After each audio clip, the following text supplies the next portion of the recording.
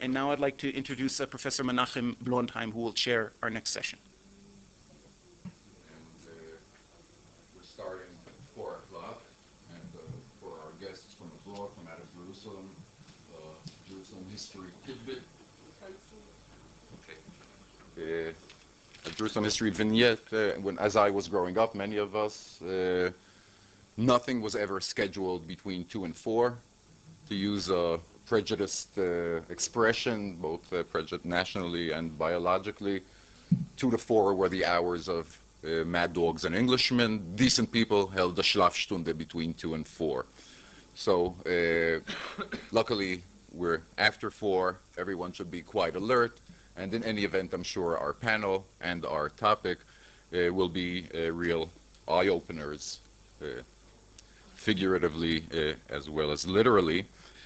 Uh, this, what I heard so far, this is quite a fascinating uh, conference, uh, intriguing, revealing. However, uh, I find it extremely depressing. Uh, I think anti-Semitism, prejudice, hate are uh, the worst aspects, possibly, of humankind's performance, and here we are dwelling on this. Uh, in a sense, this present session has a, a redeeming uh, aspect that makes it less focused on this deep, dark, horrible continent uh, of human uh, hatred, hatred and prejudice. We will not be foc focusing necessarily on the nasty messages uh, that have anti-Semitic or other prejudicial content.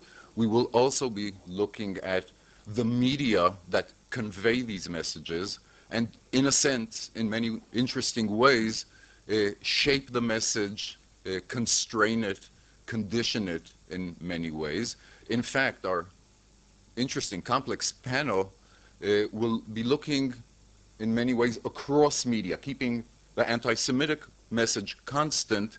What will be changing is time and media.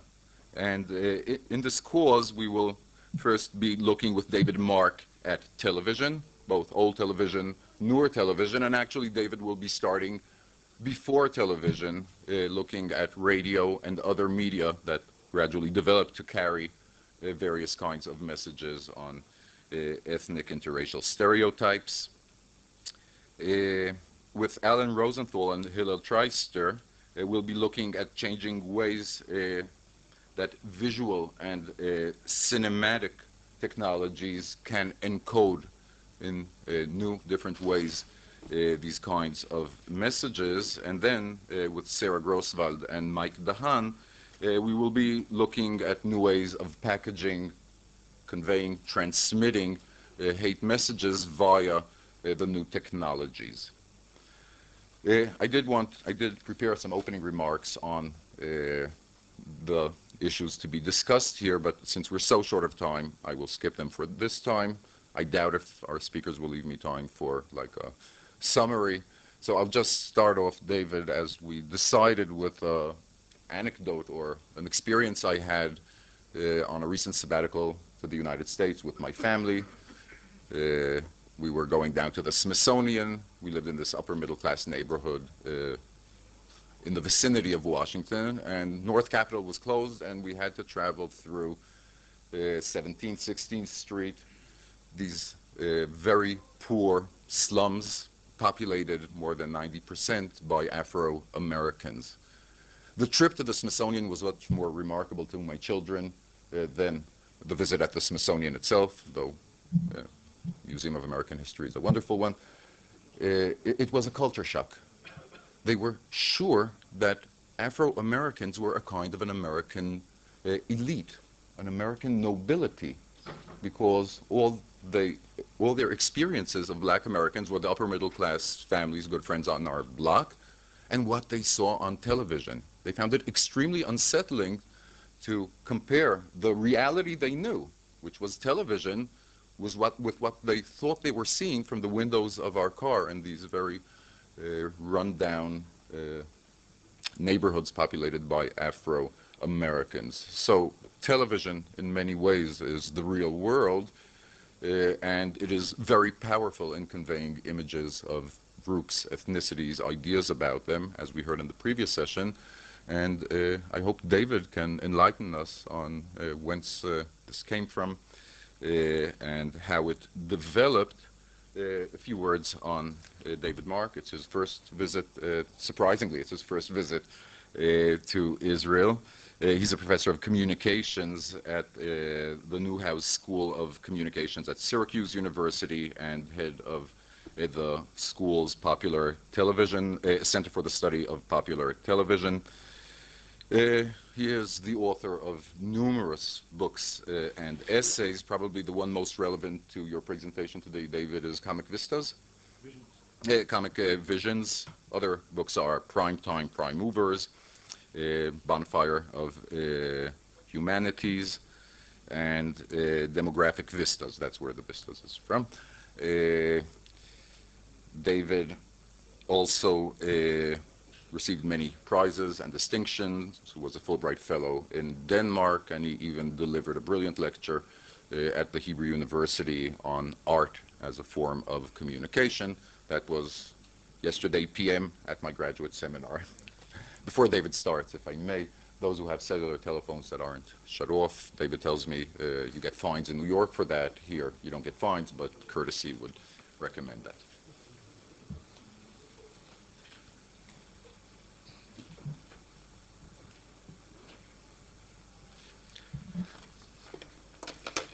Um, I, I, think because of the uh, the sense of, of emergency uh, uh, fine over here. Uh, uh, the, the the sense of, of, emergency that I heard in previous sessions, I, I should mention coming here from the United States that um, at, a peace rally um, at, on the Syracuse University campus, the main subject of most of the speakers uh, who opposed uh, a war in Iraq uh, was their concern for Israel that it would be uh, an excuse for uh, Saddam Hussein to unleash uh, the weapons of mass uh, destruction on the Israeli population. So the um, the discourse isn't uh, going in quite the same way as it is in in Europe.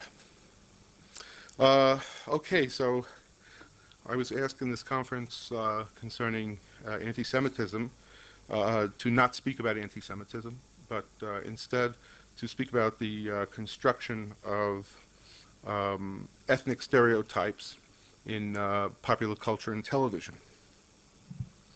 After touring the United States in the 1930s, George Bernard Shaw told the BBC, there are three things which I shall never forget about the United States. The Rocky Mountains, Niagara Falls, and Amos and Andy.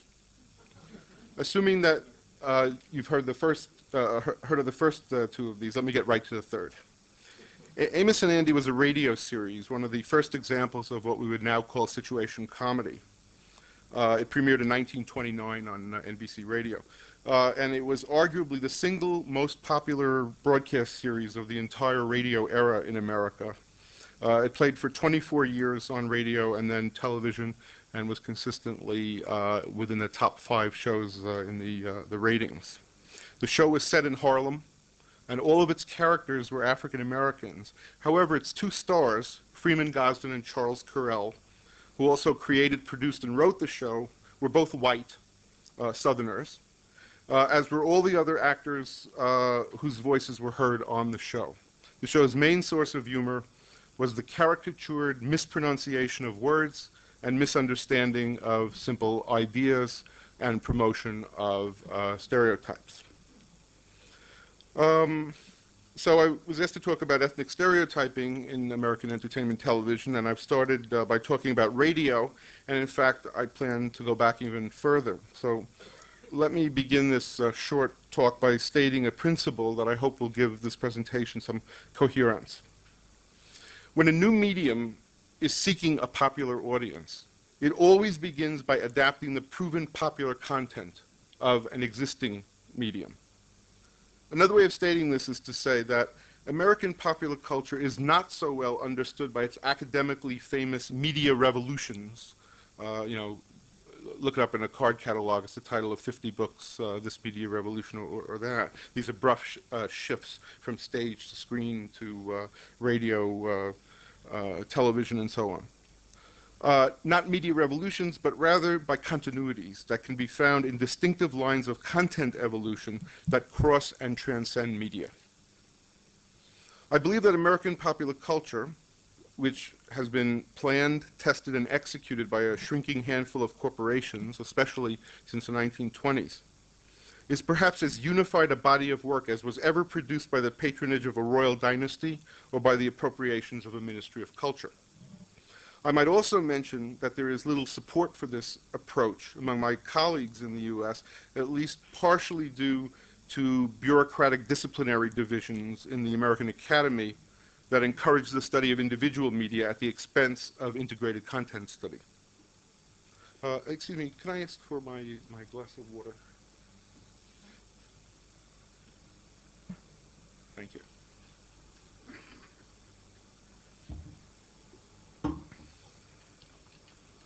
Okay, so let me uh, return to a phrase that I used um, a moment ago, distinctive lines of content evolution.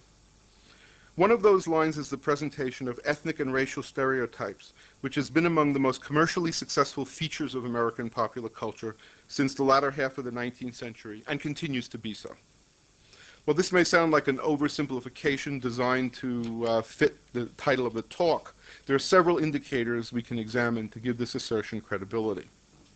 In working my way to television, I'd like to begin with a previously existing medium, the stage, and one of its popular genres, the minstrel show. The minstrel show is a genre of stage production that originated in the American South and eventually became a national phenomenon. It is solely devoted to the performance of patronizing and often degrading caricatures of African Americans, most of which originated during the slavery period. Uh, according to Robert Toll, uh, T-O-L-L, his book Blacking Up is probably the uh, authoritative work on uh, the, the, minstrel show. Uh, according to Toll, minstrelsy was the single most popular genre of American theater during the last 30 years of the 19th century in terms of attendance and in terms of influence on future popular entertainments. The performers in minstrel shows originally were all whites who painted their faces black and played a series of standard set characters all of whom reflected and personified racist articles of belief about the low intelligence, low ambition, and clownish personalities of African Americans. The critic Sherman Paul characterized minstrelsy as, quote, the tragedy of American slavery replayed as a comic musical romance to entertain the villains of that tragedy and their co-conspirators and admirers. By the turn of the 20th century, a rationalized transcontinental railroad system in North America was absorbing regional theater, uh, such as uh, the minstrel show, by creating national opportunities for white performers on what became known as the vaudeville circuit. These were traveling shows uh, which were cast by large corporate businesses, most of which were headquartered in New York and Chicago. And really, you get the beginnings of the uh, kind of entertainment industrial complex uh, that you have today in the rationalization of popular entertainment uh, in, in vaudeville. Vaudeville absorbed many minstrel acts and performers, uh, but its lower middle class urban audiences also enjoyed laughing at ethnic stereotypes of their new neighbors, European immigrants, uh, especially those from Ireland and from Eastern and Southern Europe. Uh, Abie's Irish Rose, uh, about a, um, uh, a, a, Jewish husband and his Roman Catholic Irish wife, uh, was a standard sketch that later on was made into a film. And uh, uh in the exhibition of posters uh, in the little gallery here, you, you can see the poster for it. Chico Marx of the Marx Brothers developed his Italian character on, on the vaudeville stage. Interestingly, African American entertainers, many of whom had begun their lives as the children of slaves, or in some cases actually as slaves, inherited the old regional minstrel show which constituted their first opportunities to perform in front of paying white audiences. And they had to play the characters exactly as they were expected to. Many of these performers were well aware of the source of minstrel popularity and were extremely conflicted about the price in personal dignity that they had to pay in order to work on the stage as professional performers.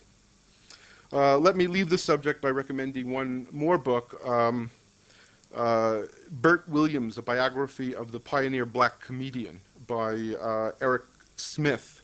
Uh, Williams was one of the um, uh, black minstrel performers who uh, was uh, very saddened by what he did for a living, yet wanted to do it for a living. And he had an exchange of letters with the president of an all-black college at, at the time, at the turn of the century. Uh, was very instructive about um, uh, the position uh, that he found himself in. The popularity of race stereotypes on stage was strong enough to transcend medium. The first American feature-length film, a silent film, D.W. Griffith's Birth of a Nation, makes extravagant and socially explosive use of African American stereotypes, including perhaps the most vicious racial archetype in all of Euro-American folklore, the black male rapist stalking the innocent white female. Uh, in this case, um, she commits suicide rather than uh, uh, submit, which, um, in the context of the film, mitigates the, um, the horror. The rapist in Birth of a Nation is a light-skinned mulatto, and this is Griffith taking advantage of the new visual medium to make the horror of the rape attempt doubly apparent to the audience. Griffith, Griffith is offering viewers not merely the monster attempting to violate the virtuous woman, but the monster attempting to beget yet another monster in so doing. Other scenes in Birth of a Nation are right off the minstrel stage, such as a scene that takes place before the American Civil War, in which a South Carolinian slaveholder shows his visiting cousin from Pennsylvania how happy the slaves are with their life on the plantation, as the camera shows them singing and dancing and eating watermelon in the cotton fields during the middle of the workday. Uh, the, um, uh, uh, the, the uh, storyboard, um, uh, on the screen it says, uh, the slaves enjoy, and this is the exact word that's used, their break. Um, in another scene, recently freed slaves are shown serving as officials of the South Carolina State Legislature during the Reconstruction period. The legislators have their feet up on the desks. They're shown eating uh, fried chicken with their fingers at a session of the South Carolina uh, legislature. Birth of a Nation was, as President Woodrow Wilson described it, quote, like writing history with lightning. And of course, Wilson himself had been a professor of history at, uh, at Princeton. Oh, um, I'll dispute that later. Um, but, uh, Birth of a Nation was, in, in many ways, a classic minstrel show with white performers made up in blackface, blackface playing the featured African American roles. It's worth noting that Griffith based Birth of a Nation on a 1905 novel, which also was adapted uh, into a stage play uh, titled The Klansman, A Romance of the Ku Klux Klan by Thomas Dixon. The film, was, the film was originally titled The Klansman when it was released in 1915, but the title was changed after the film was previewed in San Bernardino, California, and was picketed by veterans and widows of veterans of the Northern Army. Uh, Dixon's novel expressed the Southern interpretation of the American Civil War, and Griffith, who was uh, a Southerner, became obsessed with the fact that that message, which he called the true story of the South, was being suppressed by the Northern cultural and publishing establishment, uh, which either lambasted it or simply ignored any works that uh, ad uh, advocated it. By using the experimental communications technology of the cinema, a medium thought too trivial to censor, or too trivial to even provoke the interest of serious critics, Griffith bypassed the cultural establishment of New York and Boston and took his message directly to the mass audience. The analogy to modern-day internet hate sites is, is obvious. Race was also the subject of the next great technological event in American cinema, the 1927 release by the Warner Brothers of the first commercial feature-length talking picture, The Jazz Singer. This time the focus was on the question of the assimilation of immigrant Jews into American culture. That task, as laid out by the film, does not require the conversion of the Jews to Christianity, but rather the conversion of the Jews to the new American religion of show business. Let me say just a few words about the jazz singer before moving into to broadcasting. Al Jolson, born uh, Asa Josephson in Shrednik, uh, Lithuania, was among America's most popular mammy singers, uh, which was another name for uh, minstrel singers. He'd been a member of Dockstader's uh, Minstrels, one of the last surviving minstrel shows. And in vaudeville, he specialized in doing minstrel numbers. In The Jazz Singer, Jolson not only sings in blackface, but he appears in blackface for the key dramatic sequence in which he must choose between uh, singing Kol Nidre at his, father, at his father's synagogue uh, and making his debut on Broadway. His mother goes to the theater during dress rehearsal to try to convince him uh, to do the right thing. When she sees him in blackface, she explains, You look like my Jakey. Are you his shadow? But this is not the most bizarre aspect of the film by any means.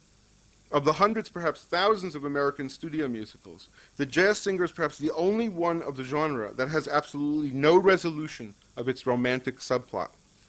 The Jolson character, Jakey Rabinowitz, who changes his name to Jack Robin, is romantically involved with a non-Jewish woman, a ballet dancer, through most of the film. She simply disappears near the end of the film with no explanation. It was one thing to show a Jew, or for that matter, an Italian uh, or a Pole, assimilating into American culture while still loving his mother. This was heroic. It was quite another thing to portray what nativists called the mongrelization of the white race, uh, meaning Northern Europeans, uh, in a comedy. And so it was simply dropped uh, from, from the film.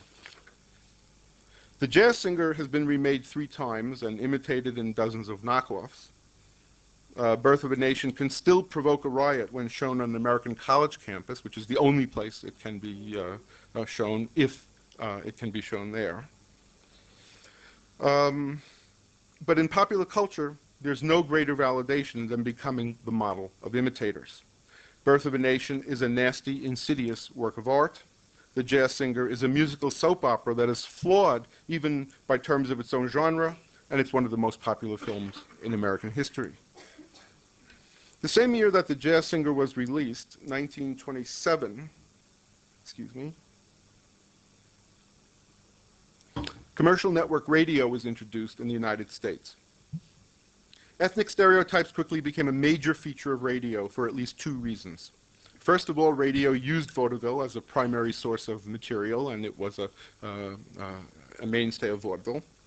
But it was also true that because of the caricature of ethnic accents, uh, which had always been uh, popular in the U.S. Um, that was one thing, and it was quite literally made for radio. You, you listened to the uh, ethnic, ethnic accents. In addition to Amos and Andy, we have such hits on radio as The Rise of the Goldbergs, starring Gertrude Berg, about a Jewish family in New York. Um, Life with Luigi, concerning Italians in Chicago. I Remember Mama, about Norwegians in San Francisco, and, and so on. Thomas Cripps, in his uh, article titled uh, Amos and Andy and the Debate Over Racial Integration, uh, which appears in an, uh, an, anthology called American History, American Television, uh, asserts that the radio program effectively taught tens of millions of urban immigrant Americans the most basic Southern stereotypes about African Americans for some two decades. Uh, some critics have defended Amos and Andy by pointing out that, like most radio sitcoms, it was almost completely devoid of sexual content. And by denuding it of that um, foremost of uh, uh, stereotypes, uh, somehow uh, mitigated it. Uh, the only other radio series that had African American characters in it was a show called Beulah concerning a maid and in this series, uh, a white man played the part of the lead female character, who he said uh, was an imitation of uh, the, the black nanny that had uh, uh, brought him up uh, in the South. Gosden and Correll had also played Amos and Andy in blackface in three Hollywood feature films. And they wanted to do the same when the show was made into a television program in 1951. Uh, but William Paley and David Sarnoff, the heads of the two major networks at that time, both refused to consider the idea, and it was dropped. Ironically, the TV show, with its uh, black actors, the only opportunity on uh, early American television uh, for African American actors besides the TV version of Beulah, and she was played also by a black woman on uh, TV. Uh, ironically, th these provoked a storm of criticism that had not surrounded the radio show. Most critics point to the fact that the civil, right, uh, civil rights organizations had grown considerably stronger after World War II as their ranks were filled by African American war veterans. Uh, the NAACP led the fight against Amos and Andy, and under the threat of sponsor boycotts, CBS took the show off the air after only two seasons despite its good ratings. It's one of the few uh, uh, shows with good ratings that was ever removed for another reason. Uh, black actors counter-protested, claiming that there would be no blacks at all on TV if the show was canceled. And in fact, they turned out to be right. From 1953 to 1966, there was not a single show on American television, despite its boom and its expansion with the uh, success of the third network, uh, ABC. Uh, was not a single show starring a, an African uh, American performer. Uh, there was one other example of a show that was taken off because of um, prote- protests by uh, ethnic and uh, religious groups, and that was a program called Bridget Loves Bernie uh, in the 1970s. It was a replay of uh, Abie's um, Irish Rose uh, with Bridget and Bernie, and it was the protests of Jewish and Roman Catholic groups about the portrayal of a positive inter-religious marriage uh, which uh, both claimed to be an attack against their religion that led the networks to um, uh, give in. Um, I'll just stop there. Okay. Okay. Uh, We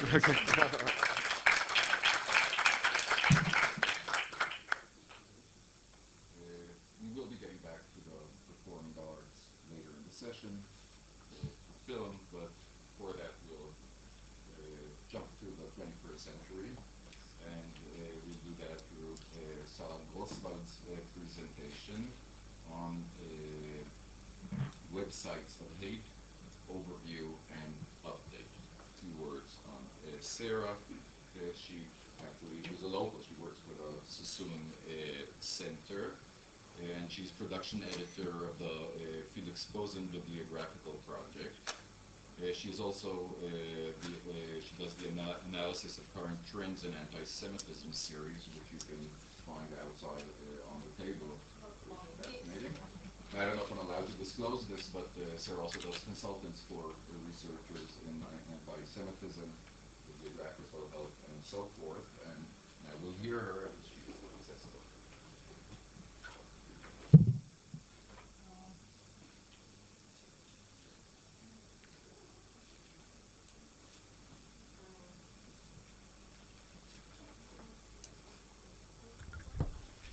תודה.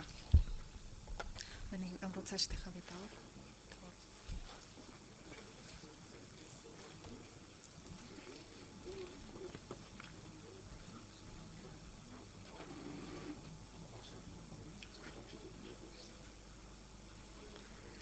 Um,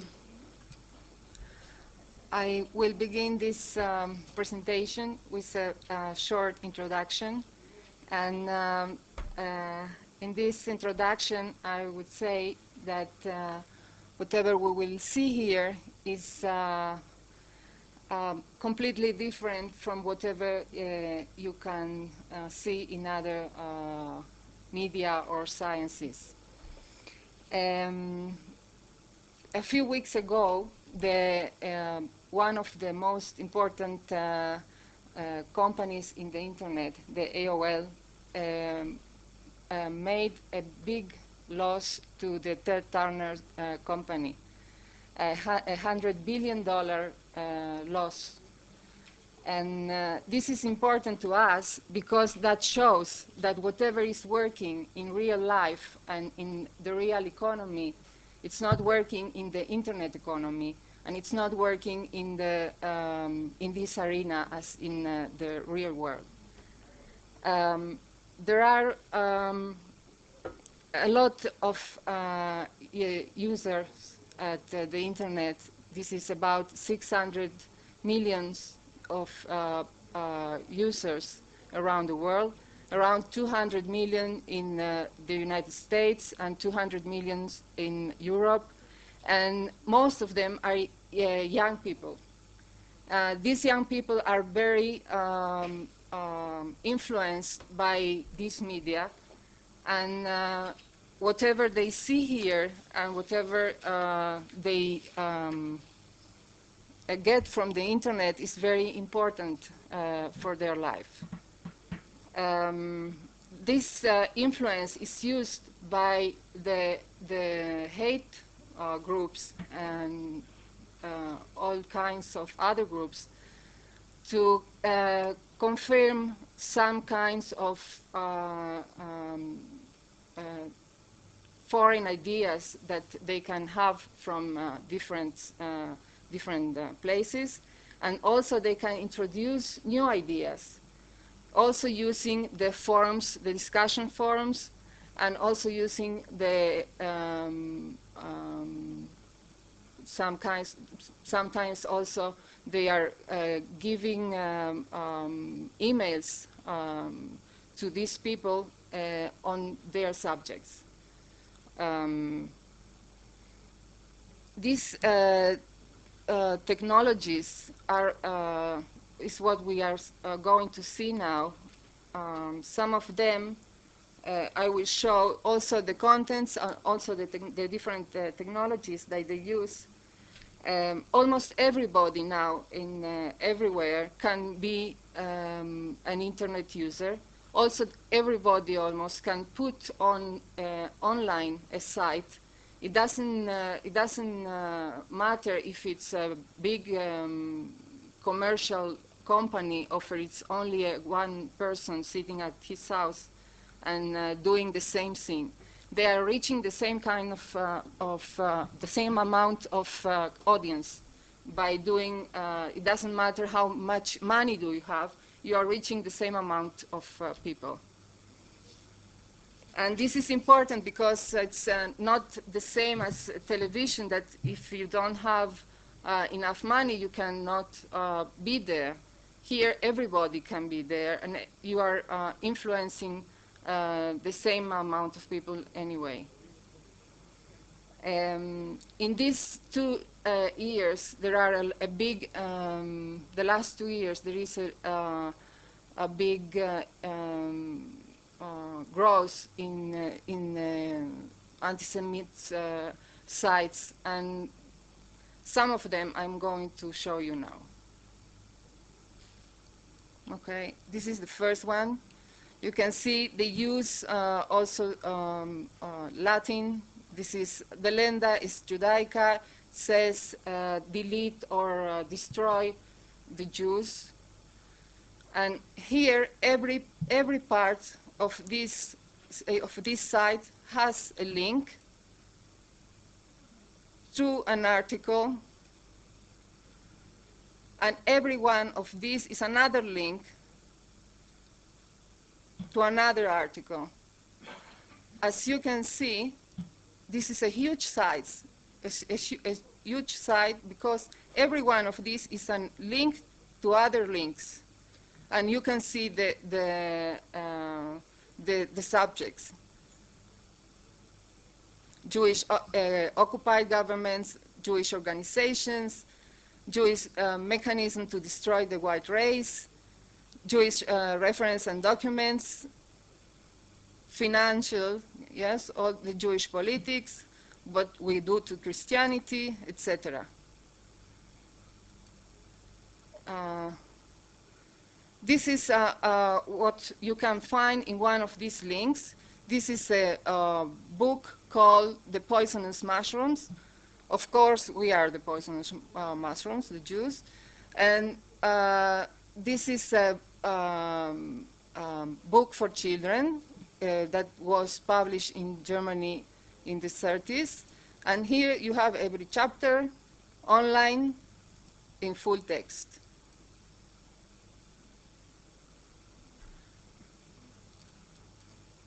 Oh. No, that's okay.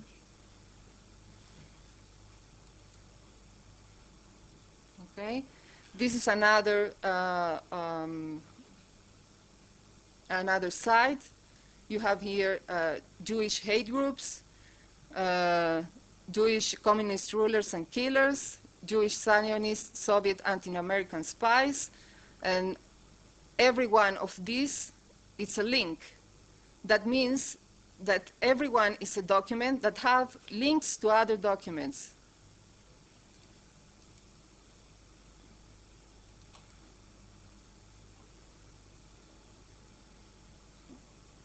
אני need, uh, I, אני צריכה uh, קול.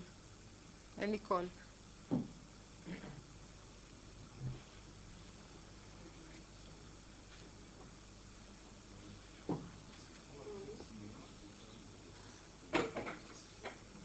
סליחה, מה כתוב שם על פוליטיקס ומה? Politics and terrorism. אין, סליחה? Terrorism.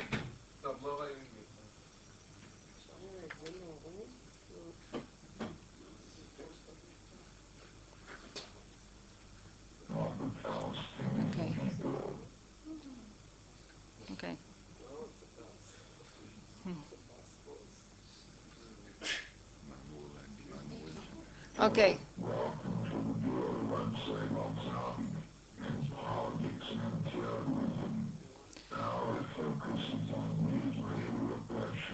Israeli oppression and subjugation of the Palestinians. This, uh, whatever uh, it says, is not so important. The thing is uh, that they use the, you know, uh, things that are very appealing to some uh, some special people, and these uh, um, uh, they use, of course, voice and image, and this is uh, Zionist uh, occupation uh, government and Jewish occupation government. These are the, the initials. And uh, this is um, some uh, uh, special, uh, well, this is what happened. This is something that is interesting for us too, because whatever you can find today, you can't find tomorrow. The, this, uh, these um, sites are changing every day. They are on and down uh, every day, uh, almost. Uh, this is another kind of site. Um, and how you can see it's very different for the other, from the other one. But the, the messages are almost the same. This is the World Church of the Creator. And you see here they put the, the Star of David, what is not there, but this is Bush, that is, of course, behind, uh, we are behind him. The, the state of Israel is behind Bush. And whatever happened at the Twin Towers is because of the Mossad. And all, all, uh, uh, all is here.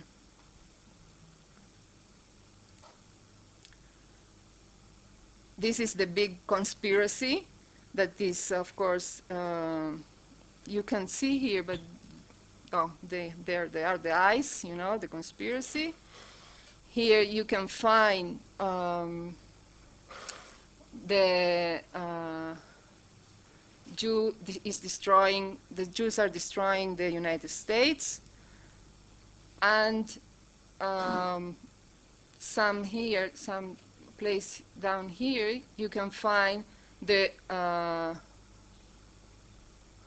the book of uh, um, Ford, the Eternal Jew, the International Jew. Really? Okay, I will go on for uh, the Nazi sites. This is the, uh, the um, this is in Spanish. This is uh, um, the Rawa. This is the Rus- uh, Russian Holy War. This is the British, the American National uh, um, Nazi Party. This is the Occidental Panarian Crusader, and here you have um, almost every book that you can imagine on uh, uh, Hitler and everything in the, it's uh, Mein Kampf uh, online in full text. This is the British National Party, and I, I don't have sound.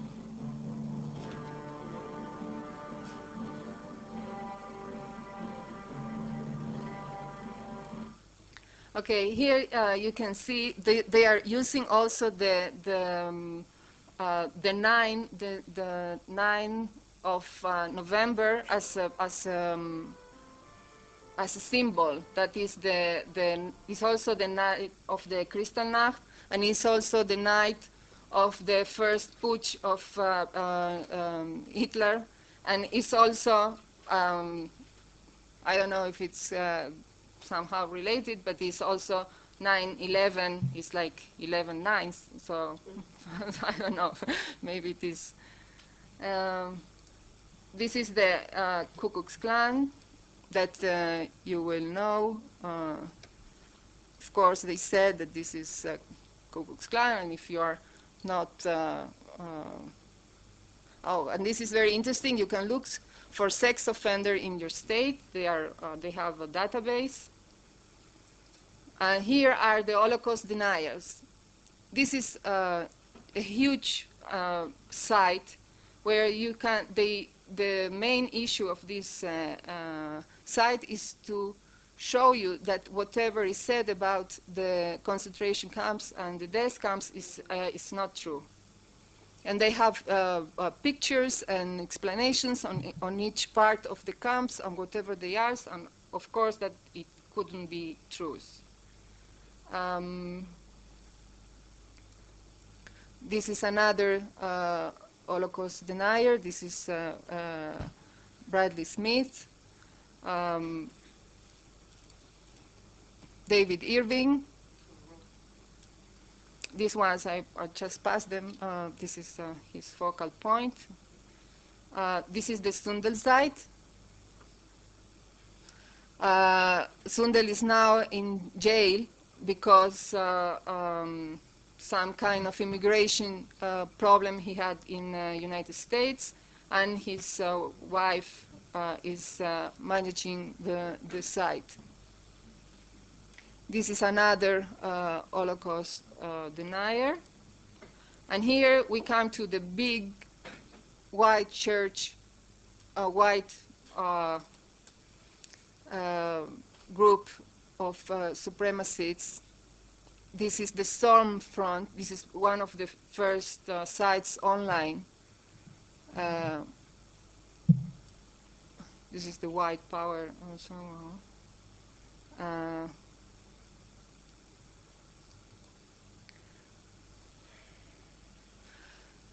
This is uh, Tov Shebegoy Marog, kill the best Gentiles, and this is what they said we, we say. Um, of course, they use the, uh, the Talmud to say uh, uh what, uh, what we say about the Goyim. Uh, and this is a white man's radio. But I don't know. Okay.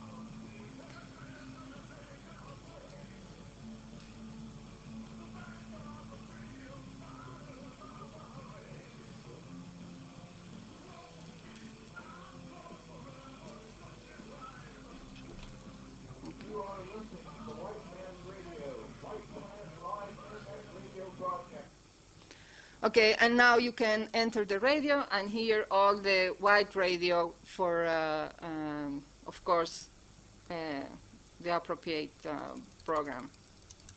Um, I will go, I have only three minutes, so I will show uh, something very interesting. Um, and this is a program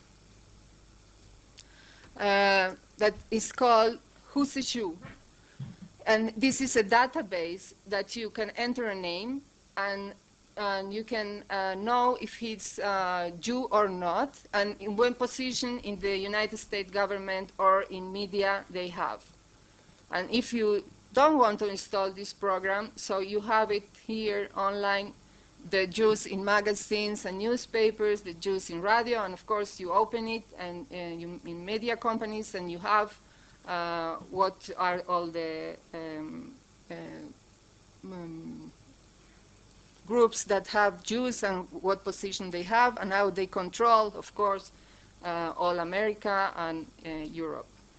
Um, another thing that I I didn't reach, but uh, in the two last years, we have a, a big growth of um, um, sites that are, of course, anti-Zionist, uh, or I call them anti-Zionist, and they are, um, I can see, um, um, like they are using this kind of uh, words like uh, Israeli Holocaust or um,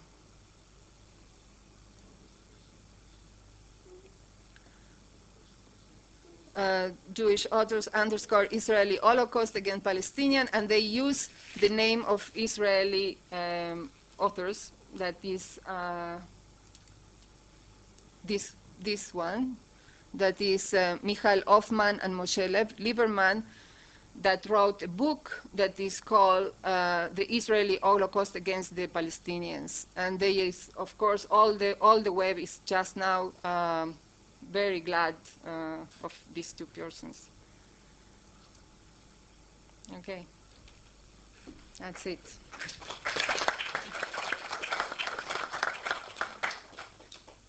Thank you very much, Sara, for this striking presentation. Yes.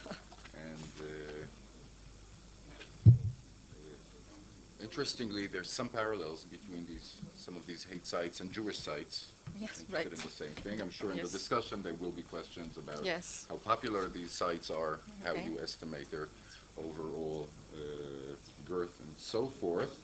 And still within the land of internet, we will be turning to uh, Dr. Mike Dahan of Ben Gurion University, uh, who was one of the first political scientists Israel, in Israel and worldwide to really address the internet as a new element shaping and uh, having uh, an impact on international relations and on the political process. Uh, Mike has published extensively on uh, these uh, interrelated topics, and now he's moving, I understand, much closer to civic society and the internal, rather than the international effect. So how these two aspects will be seen in uh, internet, or it will be, of course, uh, very interesting.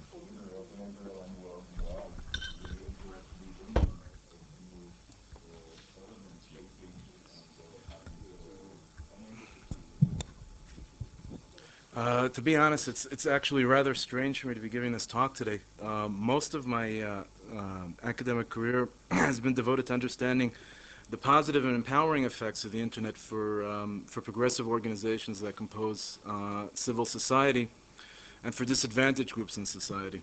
as such, I've uh, focused on primarily left-wing groups, organizations, and movements, as well as other groups that present uh, a, a positive message to the public. Um, I've also devoted a great deal of energy to using the web in order to advance cooperation and understanding among Arabs and Israelis. I do believe that the architecture and unique characteristics of the internet and computer-mediated communication can contribute to the achievement of what most of us would accept as positive goals. Yet in preparing this talk, I was forced to look into some of the deepest and darkest crevices of the internet. One of the questions posed to me by, uh, by one of the judges of my doctoral dissertation a few years back was, why do you focus only on progressive groups in your dissertation? The question was perfectly justified. Indeed, hate groups are a part of civil society as well, together with peace and women's groups, ecological and health organizations, religious groups, anti-globalization movements, and anti-war movements. Hate groups are simply the flip side of the same coin of civil society.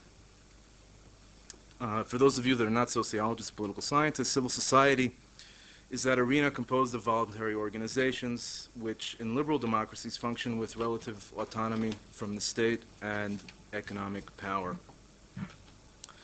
These groups, organizations, and social movements seek to influence policy and decision-making and to spread their agendas among the public.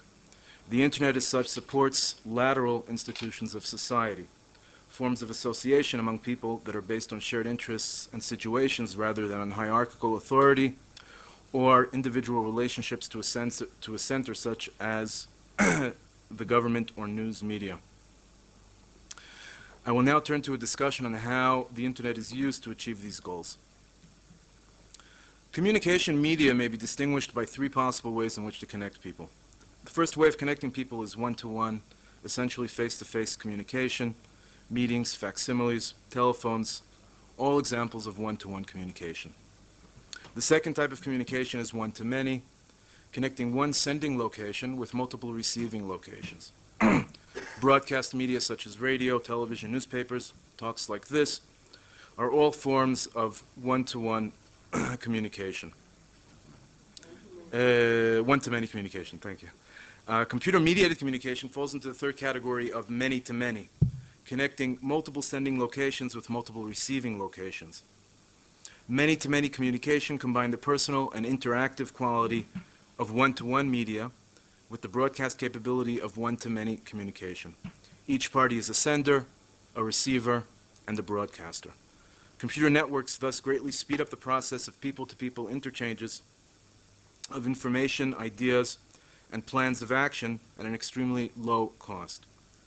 Hence, its contribution to the groups that comprise civil society, regardless of whether such groups are progressive, conservative, or in our case, groups that espouse hatred and anti-Semitism. Electronic mail distribution lists and websites provide a low-cost and timely way of distributing targeted information to members and other interested parties. The low cost of narrowcasting and the perceived anonymity of the Internet are particularly appealing as a way of distributing and publicizing confidential or controversial information to a select audience. An online organizer for a white supremacist movement has commented that electronic communication, I'm quoting here, has had a pretty profound effect on a movement whose resources are limited. Tens of millions of people have access to our message if they wish. The access is anonymous and there is unlimited ability to communicate with others of a like mind. Turning now to a discussion of the modes and methods used by hate groups in order to disseminate uh, their message to the internet, it's important to note that these modes are essentially the same as those used by non-hate groups, with the interesting exception of some of the types of material distributed via the internet by these groups. Essentially, in the case of uh, hate movements, hate groups, uh, computer games, computer games and white power and neo-Nazi music. This is unique to the hate groups. Hate groups were early adopters of uh, computer communication before the internet became popular. As far back as the 80s, some of the veteran groups like Stormfront we were using BBSs, which were essentially, essentially bulletin board services where people would dial in directly to a certain computer in order to download or upload information. Today there are hundreds, if not thousands, uh, uh, of such groups on the, uh, on the internet. And as well noted and documented uh, by Raymond Franklin's latest uh, hate report on the internet, which was published last, uh, last month. It's 100 pages long. There's no commentary. It's just a list of websites and discussion groups.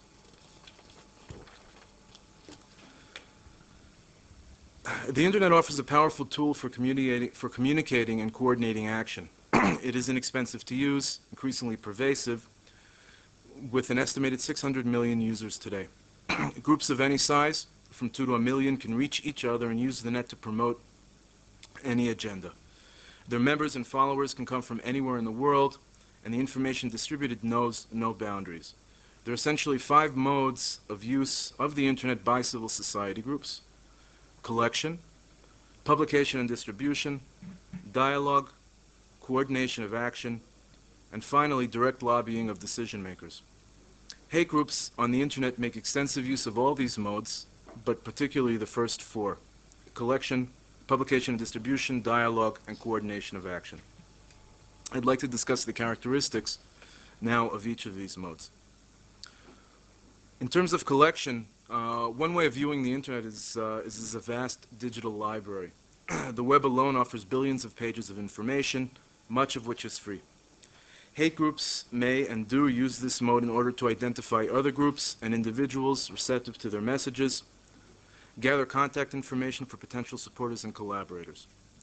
They may also search for news reports which they see as being supportive of their particular worldview. There are many tools that aid in the collection of information, tools that all of us use every day. Search engines, email, distribution lists, chat, and discussion groups. In some cases, the net allows these groups to avoid censorship. This is particularly relevant to groups that exist in countries that restrict hate speech, uh, uh, like Europe. Uh, such groups can host their websites in the U.S. in order to bypass legal restrictions. Often, these sites have training guides with tips on how to make use of the internet in, in disseminating hatred. In terms of publication and distribution, the internet offers several channels whereby hate groups and individuals can publish and distribute information and disinformation to further their objectives. They can send this through email, and post it to news groups. They can and do create their own electronic publications or contribute articles and essays to those of others.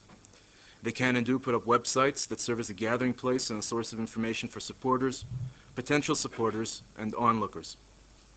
A new addition to the technological tool bag is that of peer-to-peer networking, uh, familiar maybe to some of the younger people in the audience here. Uh, known also as Napster and Kazaa, it's essentially programs that allow one to connect directly to another computer on the internet and download files. In this case, uh, white supremacist music is, uh, is widely available from among other users. Okay? This system also provides a system of decentralization. There is no central website to turn to. Okay? You can distribute these files uh, among other people's computers. People connect directly to these computers via the internet as a, as, as a mediator and download the files. Uh, in that sense, it's impossible to close down or to try and censor any of these materials. It's worth noting here that the existence of these groups on the has contributed significantly to the study of them as well as the efforts to combat them. In the words of David Goldman, uh, who directed uh, uh, a small organization called Hate Watch, which was absorbed within the uh, Southern Poverty Law Center uh, a couple years back, the internet is the greatest thing to happen to hate. It's also the worst thing. One of the reasons that the internet is popular among hate groups is its cost advantage that I mentioned earlier. It's cheaper and easier to post a message to a public forum or to put up a website than it is to operate a television, radio station, or print a newspaper. Distribution is global. They also have full control over the content of the sites. Many of the sites now are making use of video and uh, audio streaming technologies, uh, essentially turning these sites into radio stations, as we saw before, or TV stations uh, with lectures or sermons uh, uh, by activists Another reason these groups make use of the internet is the perceived sense of uh, anonymity that both the person or the group that sets up the website feels. Again, this anonymity is, is perceived because a lot of these people can be traced, websites can be blocked. The characteristics of the website of the web also allow for a more focused appeal. Many of these groups target three key audiences, children, teenagers, and women. The children and teens are enticed with computer games uh, that underscore the message of hate and frequently allow players to kill Jews, blacks, and uh, other individuals. One of the more advanced games allows players to manage a concentration camp. The distribution of white supremacist music is targeted to teenagers, while women are presented with issues related to family values and the purity of the race. By using the net for publication and distribution, implementers no longer have to send out magazine books or, video, or videos in brown paper packages to anonymous post office boxes. They can provide entire multimedia, uh, they can provide an entire multimedia package, readily downloadable, saving considerably on distribution costs. Users no longer have to fear what their neighbors might say if they see them receiving such packages. In terms of dialogue, the internet offers uh, uh, several venues for dialogue and discourse. These include email, news groups, web fora, chat, and various instant messaging tools. Discussions can be confined to closed groups, for example, through email or password-protected fora, or it may be open to the public. Hate groups make use of all these tools and often hold virtual online meetings with their supporters. While in the past, these meetings may have taken place in private homes, Today, these take place online, opening up membership beyond that of a defined geographical border. Dialogue also offers a, all, dialogue also offers the potential for the creation of support groups uh, for those facing difficulties or ostracism due to their anti-Semitic views. Thus, like-minded individuals can meet and provide support for one another, as is often the case with online communities. They no longer feel that they are alone in their views. In this sense, discussion groups and online communities are much more effective in spreading hate on the web or on the internet than, uh, than websites are. The degree of interactivity in these communities is extremely high. They provide a sense of focus and belonging for their members and serve to offset the alienation that some of these people may feel. In this sense, the creation of community is more effective than static websites, and while these sites may be an initial entry point into the web of hate, this is augmented through the discussion and dialogue that takes place via email. In this sense, email is a more effective tool than the web. David Goldman, again from uh, Hate Watch, notes that extremists need to be told that what they do is good and right and true. These interactive discussion groups, even more than the web, let them feel hope, like they're participating in a community larger than themselves. These venues allow a safe exploration of extremist ideology, one in which no physical commitment is made. For people who are members, discussion groups have been likened to a virtual cross burning, a kind of hate fest in which participants reinforce one another's racist views. They also allow for the ever, for the ever more important individual and unconnected, unconnected activist, the so-called lone wolf, to take part in movement debates and even planning actions without exposing himself. himself. There is evidence that these uh, organizations actually encourage the lone wolf phenomena, which allows the organization and the individual to distance themselves from one another. That is, it provides them with a sense of plausible denial. Um, going over some of the key points in discussion, um, I just want to try and focus on on on uh, on the point that uh, email and these uh, online communities are often more effective in spreading hate. The first is privacy. Okay, as opposed to a website, um, while some of the lists are open, most of them are closed to people from the outside. They're either password protected uh, um, or limited. People simply don't know of their existence. For hate groups like the Neo-Confederate League of the South, South, which poses as a mainstream conservative outfit, this is important. It allows members and even leaders to speak candidly. Okay, the leaders have a tendency to speak more openly inside of these uh, inside of these forums than they would in the press or on a website. Persuasion. Discussion groups allow activists to talk personally to potential members who are alienated but not yet uh, convinced racists. Uh, anonymity for sympathizers. It reduces the perceived risk of contacting these groups, uh, notes Todd Schroer, professor at the University of Southern Indiana. If you go to a Klan rally or actually write to one of these groups to get involved in hate, that's a big barrier to overcome. Through public discussion groups, persons who may be interested in joining can discuss, can discuss it thoroughly before committing themselves. Planning. Groups like Hammerskin Nation, which put on uh, uh, which puts on several white power music concerts a year, have had consistent trouble uh, with being shut down by anti-racist um, activists. This way, they can do their coordination and their planning quietly without being without being bothered. Support, and this is particularly important. While it's not safe to publicly brag about, say, beating up Jews or blacks or gays, there are some people who applaud these actions, and even some women who flock to those who carry them out. Discussion groups essentially provide uh, a, a very warm and loving uh, uh, um, atmosphere uh, for people involved in these hate groups.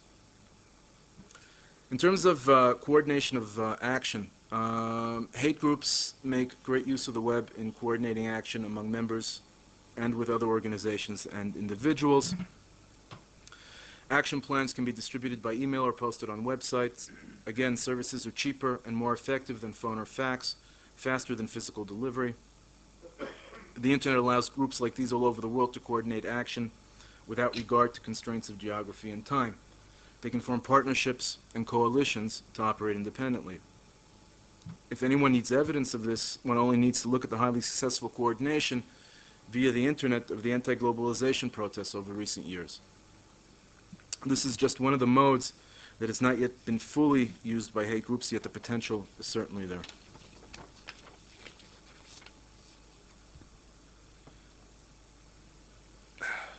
Looking towards the future a little bit and summing up, um, I think it's important to note that uh, while the internet does indeed aid hate groups in spreading their venom, the same characteristics that work for them also contribute to the fight against racism and particularly anti-Semitism.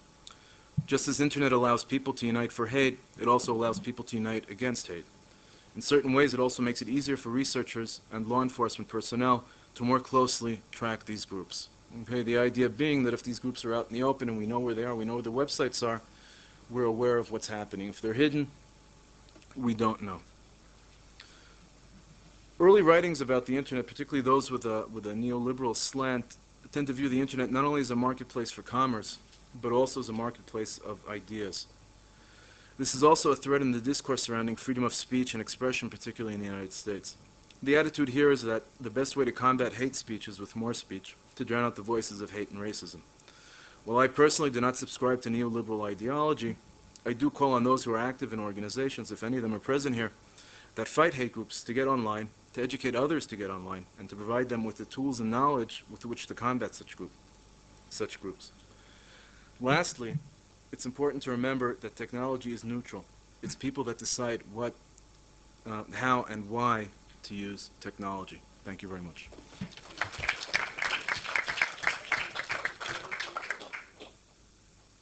I was very pleased to hear the note of uh, not only technological pessimism, but uh, some kind of neutrality, even a bit of uh, technological utopianism in uh, Mike's uh, fascinating uh, presentation here. Uh, and now we're, we remain in the 21st century, but we're going back to a veteran medium, uh, to film. And we see uh, how uh, film has fared in the uh, thrust of technological change of our period. Hillel Tryster, deputy director and researcher of the Steven Spielberg Jewish Film Archive here at the Hebrew University. I'm sure he can give you directions uh, for whoever is interested and doesn't know it. Uh, will be uh, discussing the Eichmann trial and ways of manipulating its representation. The title is We Have Ways of Making You Believe the Eichmann Trial. Uh, another presentation of Hillel's that is very uh, obvious to whoever is visiting the Hebrew University and attending this conference is between Milesdorf and the bookstore. You will see a fascinating collection of uh, posters for uh, Jewish Zionist uh, films, uh, the handiwork of uh, Hillel curator. So Hillel, please.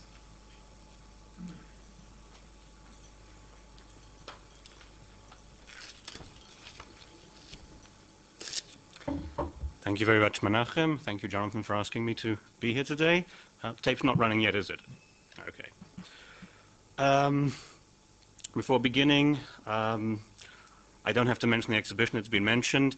Interestingly enough, uh, my closing line of the paper that I'm delivering is almost identical to what Mike just said, but you'll get to hear that in a moment. Uh, two other little things which I couldn't have known before, starting when I prepared this presentation. Um, I didn't know what Daniel Dayan was going to say in the previous session, which I found quite fascinating, uh, and I'd like to remark upon it that it would be quite appropriate if you were to look at what I am now going to show you as in some ways a continuation, thematically and morally, of what he had to say, in addition to which I think there is a sense in which what I'm going to show you can be seen as a specific case study of what he was talking about. The other little point to note, um, it doesn't change anything that I'm going to say, uh, but it's simply something that's in the news that uh, on Monday night Isser Harel passed away, the man who was probably most responsible for the operation which captured Adolf Eichmann, whose trial is the subject of my paper, or one of the representations of it, uh, and without whom maybe there would have been no Eichmann trial. So I think that's a point uh, just worth bearing in mind uh, in a historical sense. So, ladies and gentlemen, in order to uh, fit this presentation into the tight time slot I have been allotted, I'm going to be concise in the extreme. I shall be summarizing, paraphrasing, and omitting much that I would prefer to back up with the direct quotes that I have at hand in explaining what you're going to see. I shall also be resorting to the briefer expedient of describing a number of scenes I would prefer to show you, in order to have the time to show you in full a couple of examples that are vital to my point. The 1961 trial of Adolf Eichmann in Jerusalem was recorded in its entirety on video by producer Milton Fruchtman.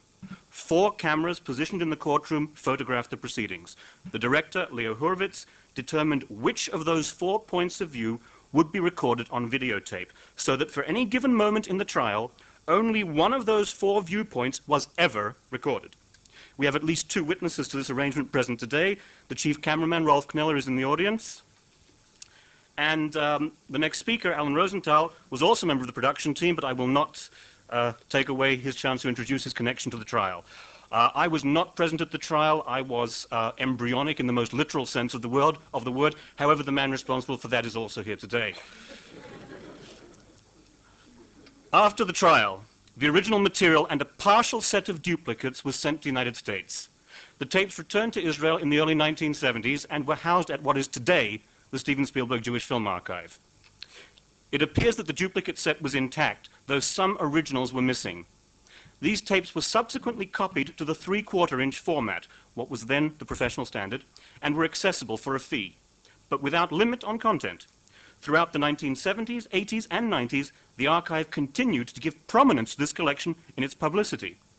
In the mid-1990s, as the result of a decision by then-state archivist Eviatar Friesel, the State Archive funded the creation of two duplicate sets to the beta digital format from the originals, two-inch video.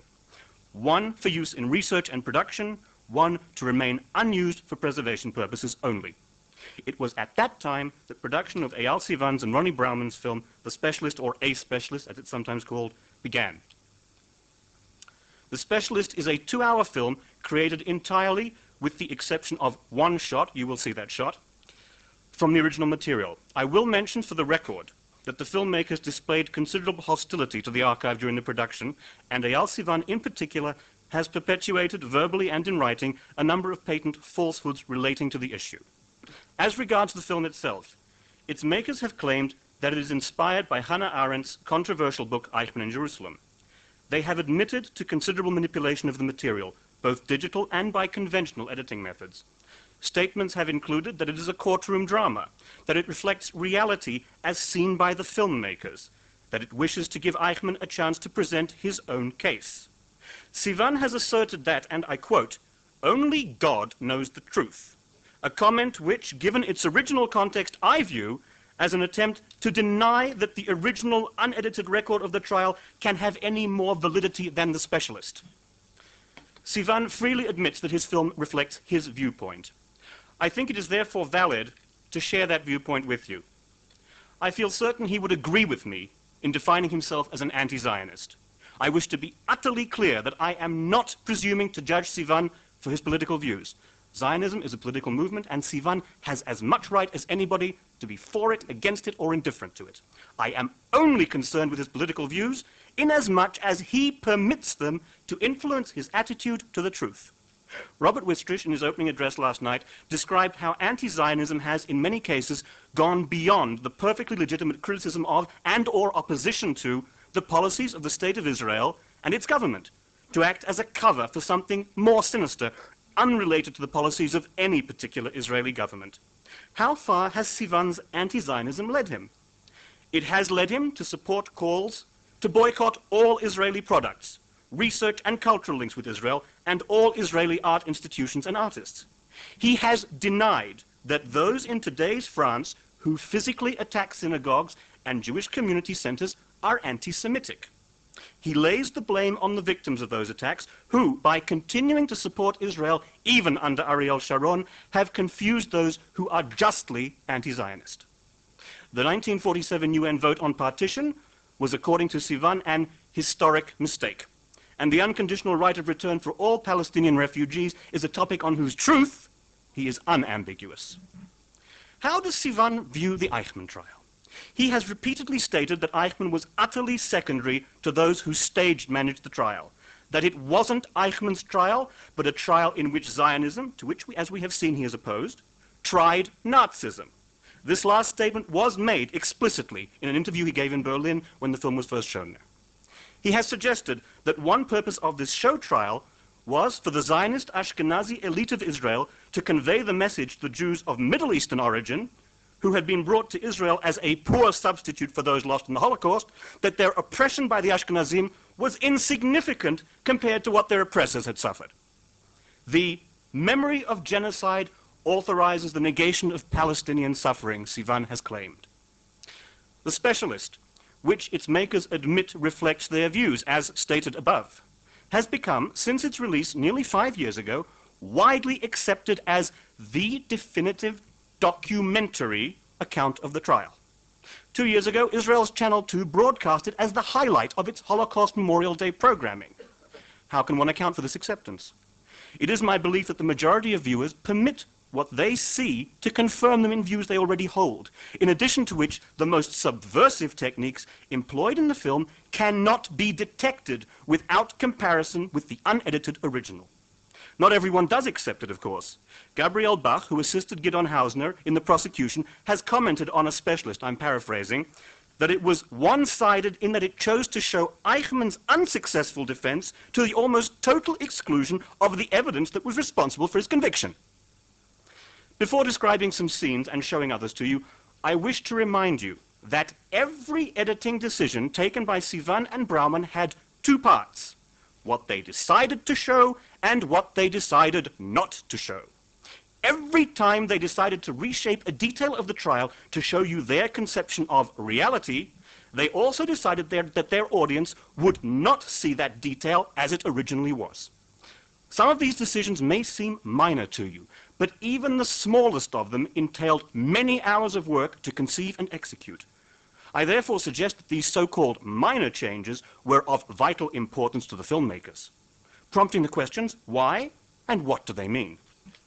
A technique employed frequently is the superimposition of a digitally generated, seemingly reflected image of a witness over a shot of Eichmann in his glass booth. This technique also masks the use of reaction shots of Eichmann from other parts of the trial, something which happens throughout. When Eichmann asks permission to exit his booth to look more closely at a map hanging behind him, the filmmakers introduce artificial tension by showing Hausner looking significant, significantly in the direction of the judges and the judge pausing before giving his assent. This moment never happened. It is a fabrication, albeit a relatively benign one. The map sequence concludes with Hausner joining Eichmann at the map. Seen together from behind, the two look remarkably similar. This visual aspect is emphasized by making the soundtrack artificially inaudible at this point. Sivan has spoken much of his focus on Eichmann, a focus he claims has been neglected. He also focuses on Hausner, trying to draw parallels between him and Eichmann. Shots of both shuffling pieces of paper, fidgeting with their fingers, are juxtaposed. I remind you once more that to find these similar shots must have taken untold hours to locate within the hundreds of hours of the trial video. The big difference is that Eichmann is shown only as a helpless prisoner in the dock, whereas Hausner is a vigorous prosecutor. I shall shortly show you how a witness attempting, to convey an impression of Eichmann in his prime is dealt with. In one sequence, Eichmann answers a question put to him by Hausner. The original contains one reaction shot of Hausner, this one.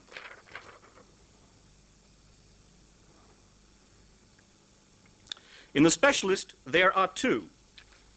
Here they are.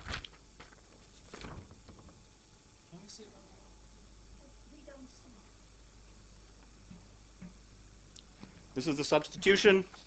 This was the original. The difference is clear. One could minimize the significance of the substitution by saying, still, all they did was take one shot of Hausner listening to Eichmann and substitute two other ones. I wish to remind you that if there is a shot of Hausner inserted as a reaction shot to Eichmann speaking and showing him apparently dismissive of and disinterested in what Eichmann is saying, the explanation could also be that the shot was taken from a dead moment in the trial when nothing was happening, and that what seems to be Hausner ignoring the question, the answer to his question, was originally Hausner with nothing to ignore. In showing you examples, I am limiting myself to two. One subtle in its technique, the other not. To begin with the unsubtle one. Here is how Hausner is introduced in the film, setting the tone for the rest of his appearances. We have the first Uh, we hope we have sound here. Yes, Cole? A video?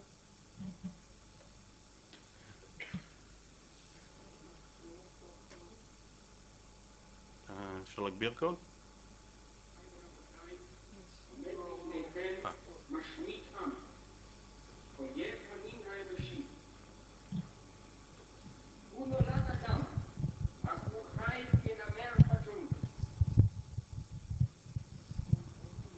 נתן ידו מעשי אימים, אשר כל המעולל אותם מוחק את צלם האדם מעל פניו. כי ישנם מעשים שהם מחוץ לתחום האנושי, שהם מעבר למחיצה המפרידה בין אדם לחיה. ואני מבקש ממצא מבית המשפט הזה. כי הוא עשה מתוך להיטות, רצון ותאווה. עד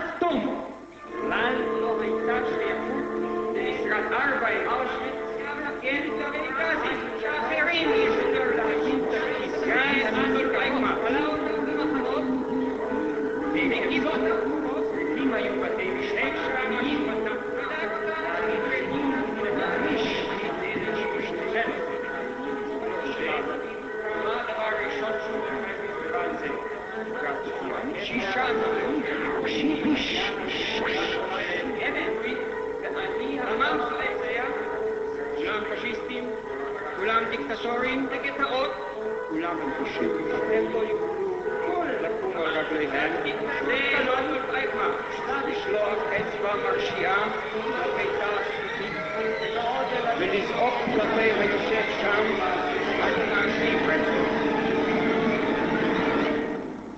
אני מבקש שתקבעו כי בן מוות האיש הזה.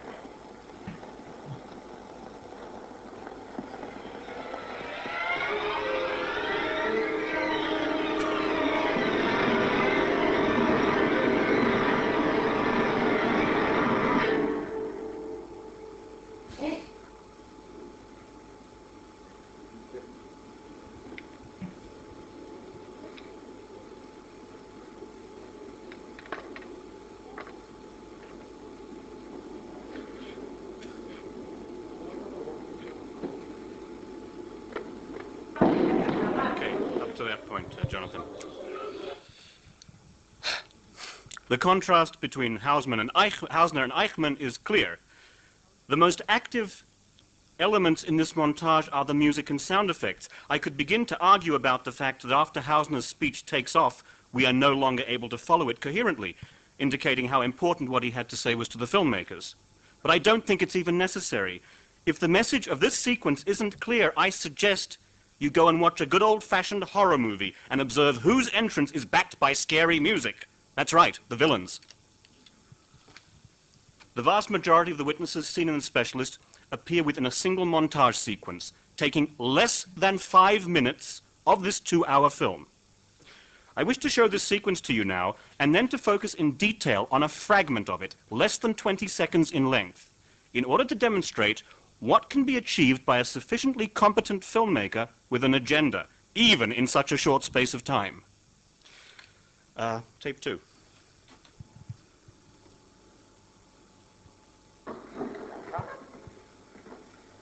Abraham Aviel. Abraham Aviel.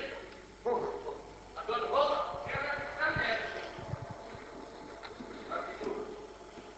Mm, there is Esther Goldstein.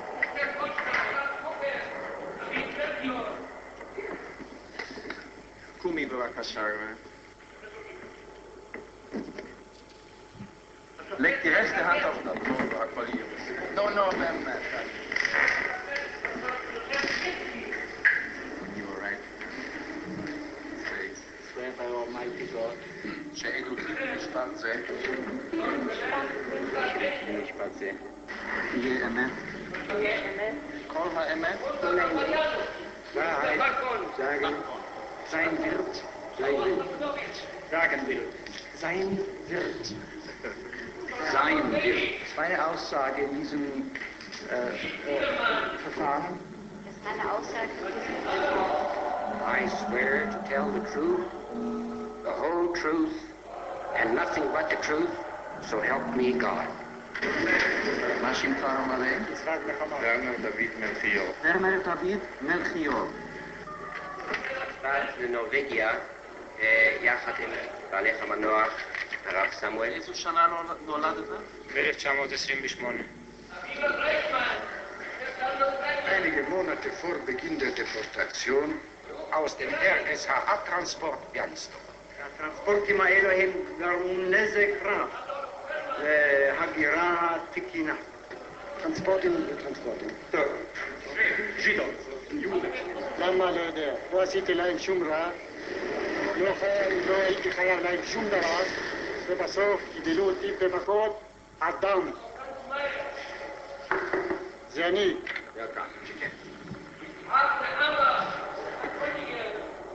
שנהרגו על ידי איישמן. האס-אס, ביניהם אה, הנאשם. ומראשם ומחזיהם נז- One time a mother came after with her child, and when she undressed, she spit in the face of this SD man. They took the child on the legs, knocked the head against a tree, and put it in into fire, and here they hanged on her feet. The other women seeing this said themselves, and this happened quite a few times. Sie ist doch tot. Menschen sind wohl verrückt, sie ist es. Sie wissen, wer ich bin? Ich, aber die Aktion. He said to me that Eichmann influenced Hitler. That is verrückt. רות, גברת. ושמא בכל זאת, לסכם חמישה עשר אלף איש. Była krok, była pieśń. Więc tak, no, myśmy byli bez broni, nas gonili. Prędzej, tam kiedy prędzej, myśmy prędzej, prędzej, no już. Aby, aby Fiorino nosił, zora מי שהיה גר במקום לא יפה, אסור היה לו לצאת מהבית. נתן לי מכות בכל גופי, זרקתי ברור את הגבייה. ושוב פעם הבאתי אותו, סחבתי את האיש והבאתי אותו לקחוניות. יצרו את הכמות של האנשים, את המלא, שהספיקו בקושי לסגור את הדלת החיצונית של, ה... של התא. כאשר גמרנו את העבודה והיה עוד זמן והיה קר, קאפו של הזונדרקמנדו ריחם עלינו ואמרנו ילדים בחוץ קר, תתחממו בתאי הגזים, אין שם כרגע אף אחד. סבר. Entschuldigt. Ja. No, no. Ja, no, ja, no.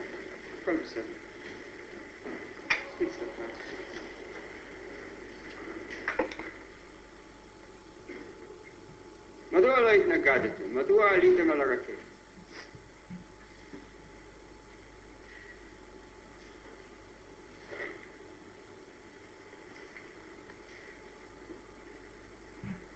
מה שעברת, אתה הצלחת לשכוח? לא, אני...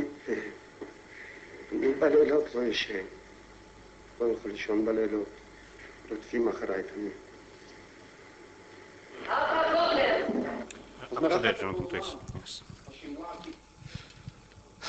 After Abba Kovner con- now concludes the witness montage, the judge addresses Hausner severely about the departure from relevance to the direct issues of the trial of some of his witnesses, and Hausner is seen to unwillingly accept the dressing down.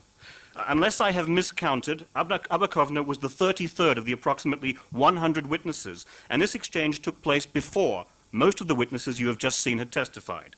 The film's editing tries to make it seem as if this criticism by the judge of their relevance referred to all whom you've just seen. The next sequence shows Hausner in his most aggressive attack on the defendant, raising his voice and demanding a yes or no answer. The editing clearly suggests that having been taken to task for wasting the court's time with irrelevant witnesses, Hausner reacts by venting his spleen upon the helpless defendant. It is my contention that by fragmenting and otherwise playing with the words spoken by these witnesses and by Hausner in the previous montage, the filmmakers wish, to varying degrees, to trivialize, mock, and misrepresent. To colloquialize the way I interpret their intentions, the message seems to be, oh, we've heard all this before. Here is the tiny detail upon which I wish to focus. Please continue to bear in mind that in the laborious task of film editing, there are no accidents or happenstance, only deliberate decisions implemented with great pains uh, Jonathan. And press pause. I'll tell you when to press pause.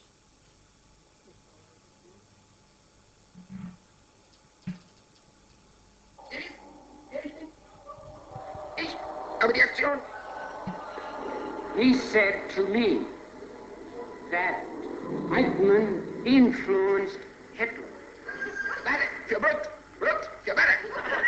Just pause for a second uh, Jonathan. Okay, I don't need the light again. This is going very quickly now.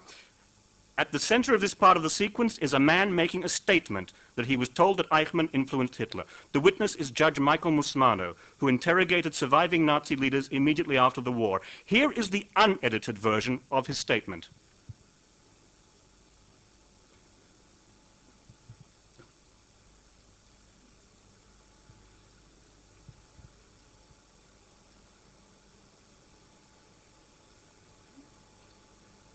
It's okay, Jonathan. It's okay. It's, I paused it, me. recht verstanden habe, haben Sie heute Morgen ausgesagt, äh, Ribbentrop habe erklärt, Eichmann habe ihn gedrängt zu seinen Handlungen. Und Eichmann wäre derjenige, der die Hauptverantwortung trage. Habe ich Sie richtig verstanden? אם הבינותי כראוי, אה, אמר ריבנטרופ לך והכריז כי איישמן הוא אשר לחץ עליו אה, למשימות, לביצוע משימותיו, וכי איישמן היה האחראי. Uh, if, I understand, uh, if I understood you cor- correctly in your testimony this morning, you said that Ribbentrop had informed you that Eichmann was actually the one who pressed on Ribbentrop for the implementation of the of various of his tasks. Is That not- Eichmann did what? uh, the press. He exerted pressure on Ribbentrop according to what urged Yes. the uh, implementation of He did more than that. he said to me that Eichmann influenced Hitler.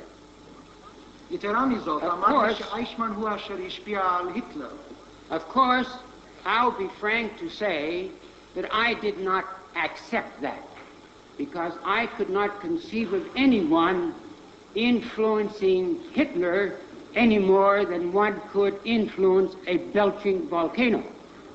אומר לכם בגלוי שלא קיבלתי אה, דברים אלה. לא יכולתי להעלות על דעתי שיהיה מי שלא יהיה שיוכל להשפיע על היטלר, כפי שאינני מתאר שאדם כלשהו יכול היה להשפיע על הר געש פולט להבות. Uh, Ribbentrop was a cringing sycophant of Hitler and attempted to defend him, indicating and stating vociferously that Hitler was not in the wrong. And he regretted so much that Hitler had made the mistake of putting so much power into the hands of Adolf Eichmann. ריבנטרופ היה מלחך פנקה של היטלר והביע בפניי את צערו הרב על שגיאתו של היטלר במנותו את איישמן לתפקיד בר סמכה כה רב.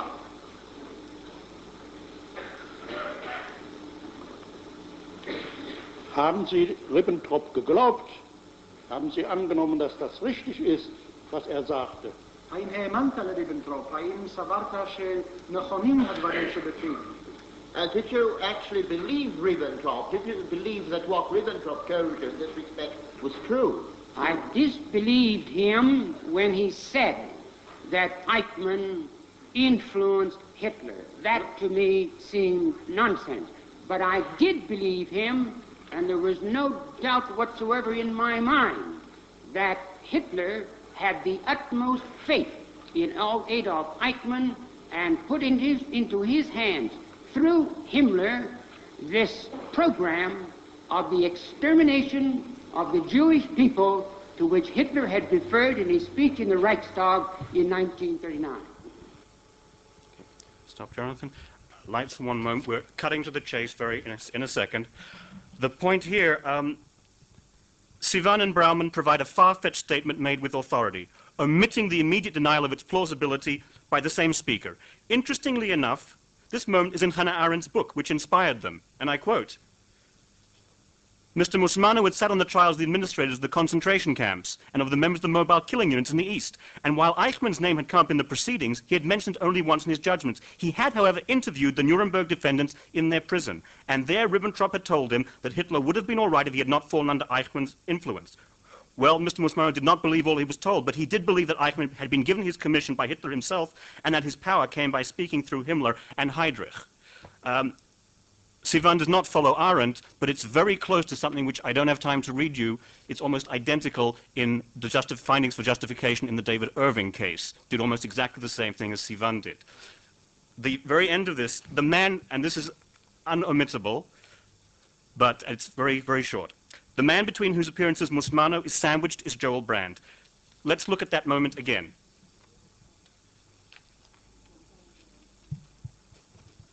Okay. Gewiss, wer ich bin? Ich, aber die Aktion.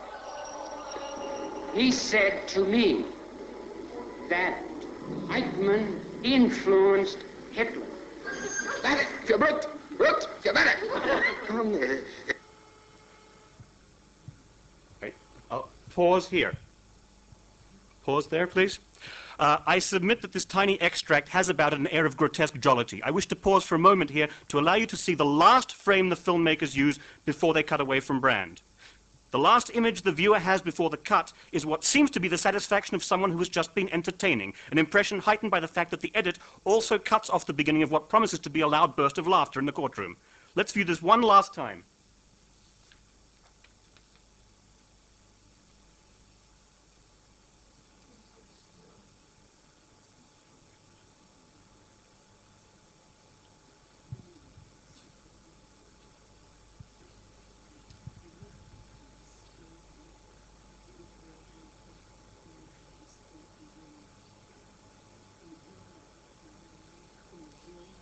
We playing, Jonathan? Um, I will, Silver. Just a moment. Okay. ich, aber die Aktion. He said to me that Eichmann influenced Hitler. Warte, für Blut, Blut, für Warte. And now here's the unedited original. Brand is telling of a personal encounter with Eichmann. What happened in that meeting? Zwischen Vorzimmer und Zimmer in der Türöffnung stand ein Tisch. Ich kam bis vor den Tisch. תפסיקו שם את הפטפוטים. אתם הצעירים. President of court, you youngsters there in the court, please keep quiet. Uh, there was an anteroom and a room, and the table separated the anteroom from the room, and I reached as far as the table. אייכמן עמד בפניו. Uh, Eichmann was standing there in front of the table uh, with his arms akimbo.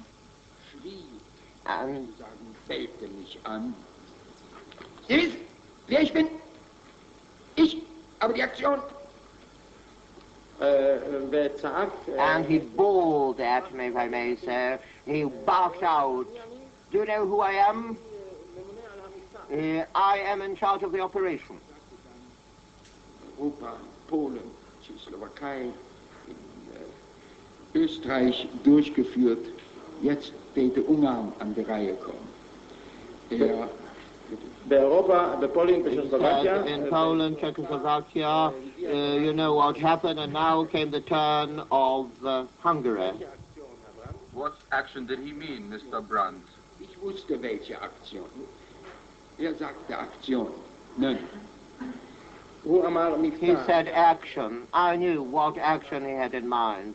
He used the word action or operation.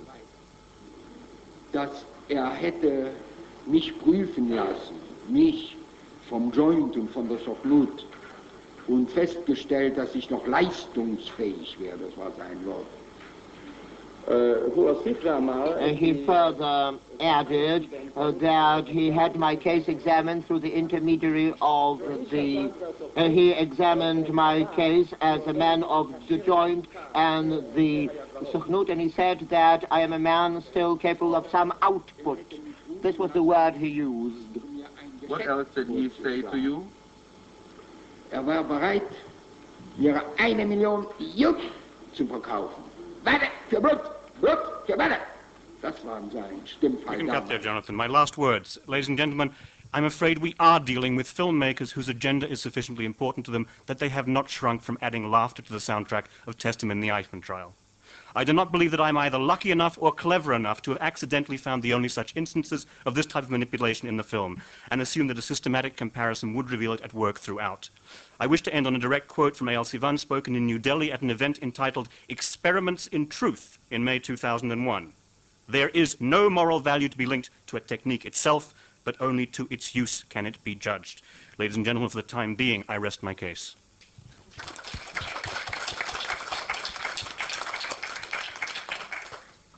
you, Hillel, for a fascinating presentation that I'm sure will be debated and uh, reconsidered. And here is the first reconsideration or perspective on this presentation by my colleague uh, Alan Rosenthal. Uh, we're so short on time, and Alan has published and done so much uh, over the past few years that we won't get uh, into detail. His background is in law and in communication, Stanford University.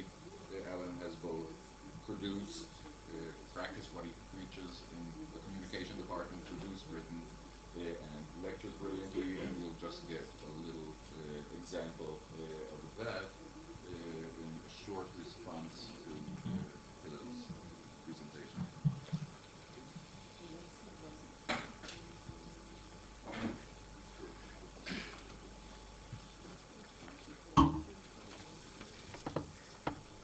In David Lodge's novel, A Small World, there's a guy who has to give a talk at a conference, and he hasn't written the talk. And the conference moves from Rome to London to Paris, and he's still wondering what to do. And it comes right to the end. He hasn't written anything except the opening statement, and suddenly there's a terrorist attack. He doesn't have to give his talk.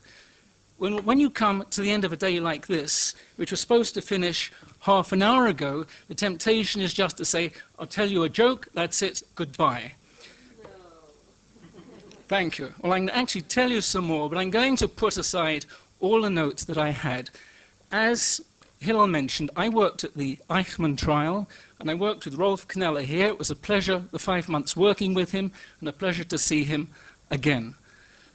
Besides that, I've dealt with Eichmann over the years. I did the first transcript transfers of the two-inch tape to quarter-inch, and later on I did a film for the Jewish Museum on the Eichmann trial, and very recently, last year, I did a film with Nissim Mosek on Eichmann's secret diaries. So I have an enduring interest with Eichmann. A couple of months ago, I was asked by Film Quarterly to write a review of The Specialist. And I said, why? And he said, well, this is a fantastic film. It's the greatest film on Eichmann and the Holocaust and so on. And I said, you must be out of your mind. And I proceeded to explain why. There have been various deliberate anti-Semitic films in the past. You're familiar with Jew Sus, you're familiar with The Eternal Jew of Fritz Hippler. These are films noted for their anti-Semitism. The audience knows it. The SS that received The Eternal Jew knew exactly where it was coming from. Here I think we have something much more grave. We have a film which purports to give an overview of the Eichmann trial, a picture of Eichmann, and to the innocent, which is probably 90% of the viewers, that's, this is, as Hillel said, this is the story. And it is so distorted, it is so untrue that I get angry just thinking about it. He's done, Sivan, an amazing thing to take a trial which was supposed to show the world what happened during the Holocaust, what Eichmann was like, and reverse it 180 degrees. What I was going to, after that, I'm going to throw away. There are just three or four points that seem to me worthwhile making. First of all, I think a filmmaker has to be, when he's dealing or she's dealing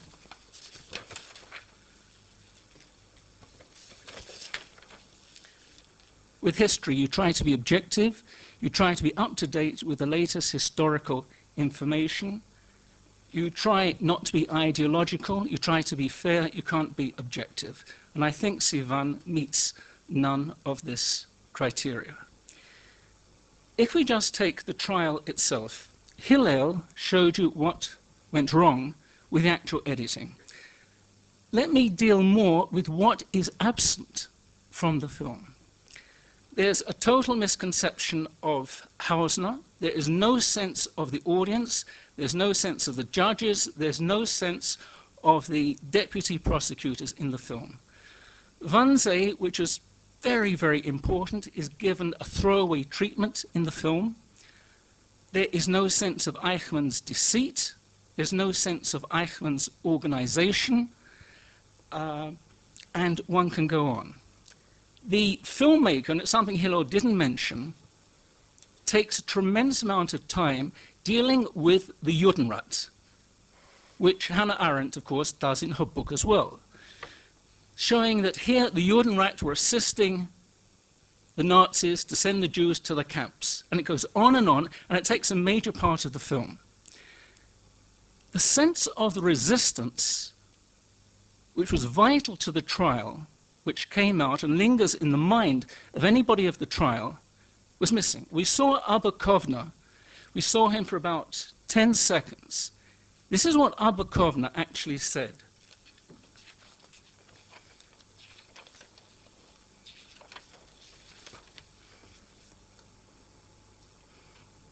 The ghetto fighters were working against incredible odds.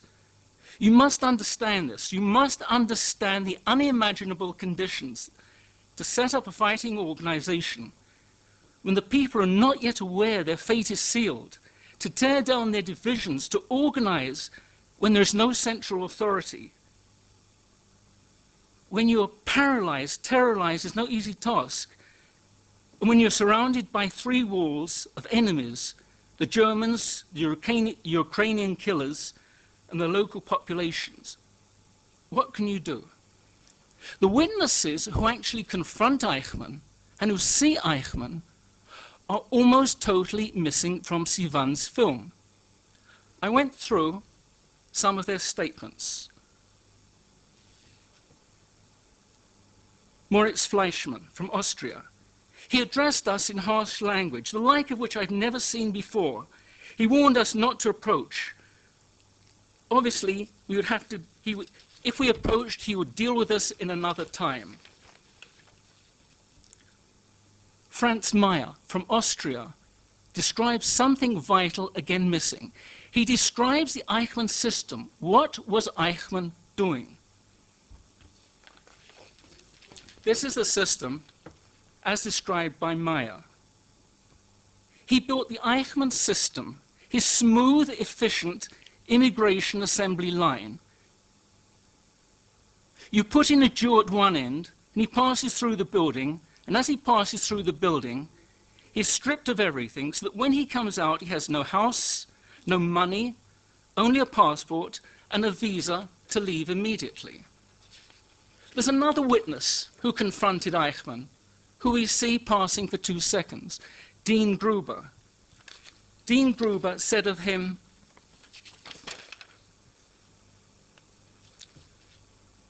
My impression, he was like an iceberg, a block of ice, what we call a mercenary trooper. The mercenary who, when he doffs his uniform, doffs his conscience and his reason. So one can go on with the things which are missing from the actual trial. Besides being a picture of a trial, this is a picture of Eichmann. And I think any serious scholar, filmmaker today would have gone a little bit deeper. They might have used some comments of Hess on Eichmann or Wisliceny. Now, Hess, who was the commandant of Auschwitz, wrote a memoir. Now, I agree it's a suspect memoir when he was about to come on trial. But Hess mentions in his memoir something like this When I was in doubt, I thought of Eichmann when I was trying to push the children into the gas chambers and my knees were buckling, I would think of Eichmann who said to me, You've got to do it. Because if we don't win this battle now, this battle will come down to the future generation. More seriously, Sivan talked of Eichmann being a witness, of the things that he said. We hardly hear Eichmann in the film. But Eichmann did leave a witness, and I'm not talking about the memoirs which were released last year. Those were memoirs written when he was facing the judge, when he wanted to save himself. The memoirs which put down continuously, I was a cog, I did nothing, I did this. But he wrote another set of memoirs. In 1956 57, when he was free in Argentina, he sat down for six months with a Dutch fascist journalist who actually belonged to the SS called William Sassen. And over wine and beer, he dictated 66 tapes of his memoirs. Now, those memoirs were never used in the trial, only a few pages of them where he had the transcripts marked by Eichmann. The judges refused to accept transcripts without the tapes, and Hausner couldn't get hold of the tapes, or he could only get hold of the tapes if he couldn't use them at the trial. Those memoirs to Sassen, which appeared fractionally in Life magazine and in a French magazine, were then forgotten, seem to me to give the best record of Eichmann. And I'll just read you a few of the notes from Sassen.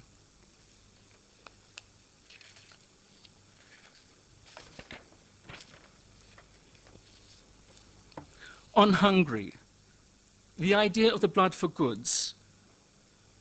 Such an idea, swapping trucks for people, never crossed my mind. I always prefer to see the enemy dead than alive. In the Sassen memoirs, he mentioned how nobody could escape. And that's a point, again, not brought out by Sivan. If you go through the trial and through the memoirs, you see that Eichmann let nobody go. When the partisans in Yugoslavia, he gave the command for them to be shot. He gave the command for children to go, for the trains to move in France. When the German government itself wanted to free a few Dutch industrialists, Jewish industrialists, he said, no, we cannot set the example. In Hungary, he came into Hungary with his own Eichmann commando. He said, and he says, now the master has come to finish the job. In Hungary, Horthy, who was the regent, was getting worried, and he gave orders for the trains to stop. Eichmann had sent a train from Kistarcsa camp to the border. Horthy gave an order for the train to stop. It came back. Eichmann went in again and made sure that train went. In Hungary, in two months, he managed to kill or send to the gas chambers almost half a million Jews.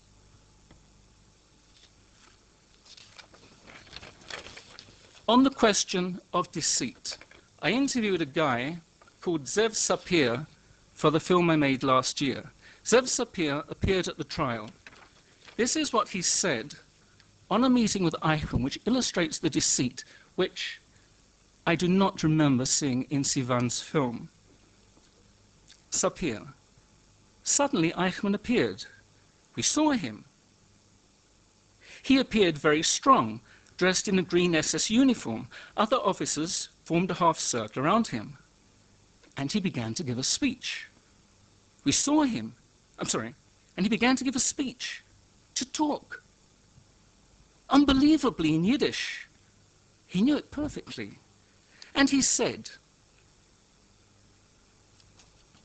Dear Jews, you're going to a place, a very beautiful and nice place, the children, your children, will learn at school, and you will work during the day, and at night you'll return. It'll be all fine and good, and you'll have a complete and happy family life. One more example of deceit. He went into Greece with Wisliceny, and he told the Greeks, look, there's a wonderful place, it's called Auschwitz, but you can only go there if you're married.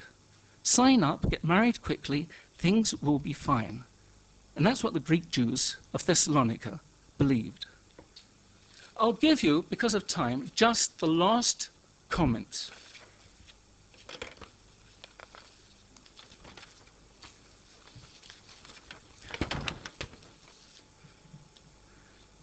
We see Eichmann Sivan's film. The perpetrator has become a victim. Hausner has become the perpetrator.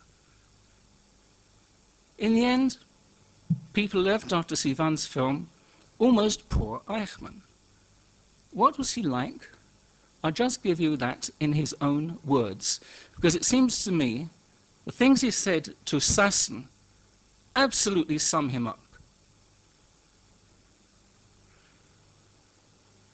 When he appeared at the trial, he consistently tried to say, I was a cog, I did nothing. But when he spoke to Sassen, this is what I imagine. I, at least I imagine he said what he really believed.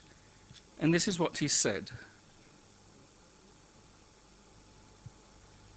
Sassen asked him, Are you sorry?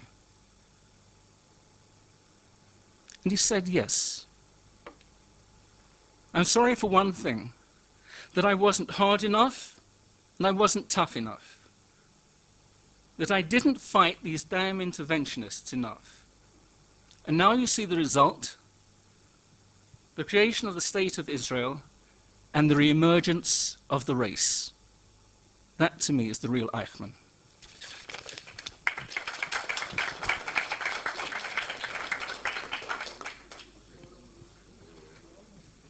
I want to thank the panelists for a fascinating session.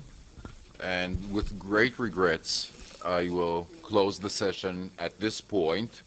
Uh, I'm sure each and every one of the presenters is available for to uh, address comments and answer questions further in the conference uh, and on other occasions. But since we have to move on to the Cinematheque, with many apologies, I close here. Thank you all for attending this fascinating session, and I want to thank our presenters, all five of them. Thank you very much.